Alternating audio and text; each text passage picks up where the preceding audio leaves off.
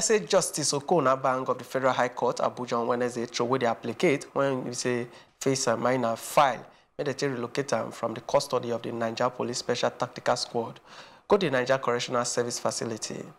Justice Abang say no proof there before the court say the police denied the defense counsel access to the defendants. Say what the counsel talk now cause what they take the torchlight the matter of Faisal ah, and in Papa Abdul Rashid. When we say the before pension reform task team, Shemo. The Economic and Financial Crime Commission, uh, some matter of 12 count when we say the border say they operate Ururu bank account, money thief thief, and money Ururu of 2.1 billion naira.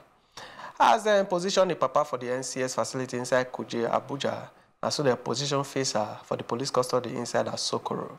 The court don fix Wednesday to start the trial of the defendant, but when be say dem call the matter in counsel, Francis Orasanye, his sama informate give the court say police dem no gree make e say client.